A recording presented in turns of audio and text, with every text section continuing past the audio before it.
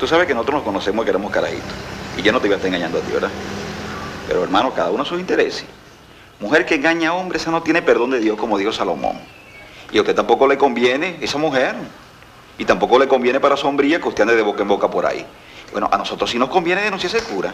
Denunciar lo que es un corrupto, que es un bandido, que es un enemigo de Dios, pues inclusive. Ahora fíjate bien. Yo creo que la oportunidad ha llegado a tus puertas. Pienso que te quitas el agravio de encima y de paso te haces rico.